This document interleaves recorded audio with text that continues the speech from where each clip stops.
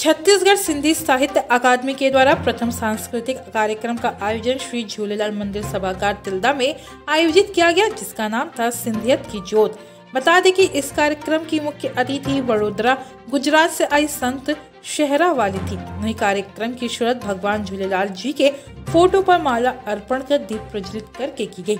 बताते चले कि अकादमी के अध्यक्ष सदस्यों के द्वारा सत्य जी का फूलों की माला पहनाकर शॉल उड़ाकर श्रीफल देकर स्वागत और सम्मान किया गया।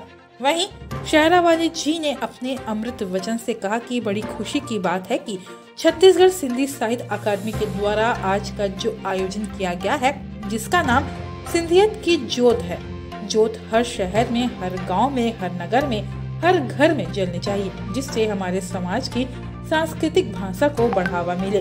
आज की युवा पीढ़ी अपनी संस्कृति भाषा को समझ सके और उसे आगे बढ़ाए।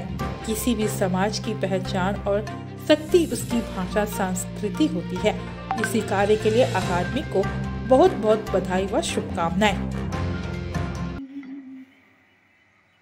हर कह जी, औकात थी थी। हर कह जी